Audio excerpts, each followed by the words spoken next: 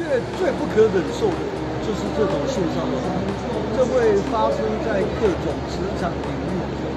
那我认为我们民进党跟我一样基本初衷，只要有任人性骚扰的事情，我们不但强力谴责，而且一定严加追究。就是情窦初开的小男生会觉得，哎、你你好像跟我长得特别不一样，然后就摸摸看这样子，是有的。我曾经过，就是在三年级的时候，因为我当当时完全不懂事，然后同班的同学就说，哦，这个摸摸看，但是我当下是不会觉得他侵犯侵犯到我，因为我觉得，哦，你就是我好朋友啊。翻一下，翻一下。一一元，一元，一元可以翻一下吗？一元眼睛要看议员翻相互顾问眼睛要看看书，眼睛要看一下，要看一下。的，请问字在哪一边？呃，你说纸书里面的字在哪一边？哦，写真集有文字啊不？是啦，他胸口有颗字。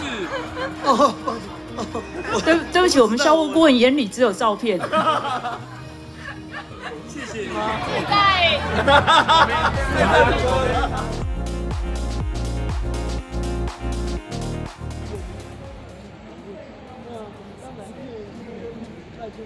我觉得最不可忍受的就是这种性骚扰，这会发生在各种职场领域。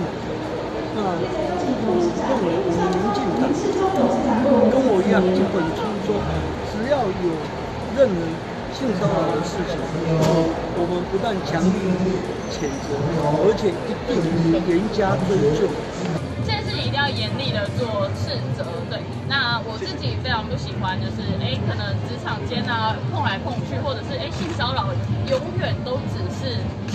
害的起手是，因为他会探探视你是不是愿意被触摸。是在三年级的时候，因为我当当时完全不懂事，然后同班的同学就说，哦，这个摸摸看，但是我当下是不会觉得他侵犯侵犯到我，因为我觉得哦，你就是我好朋友啊。对但长大之后，哎，才发现哦，原来那是性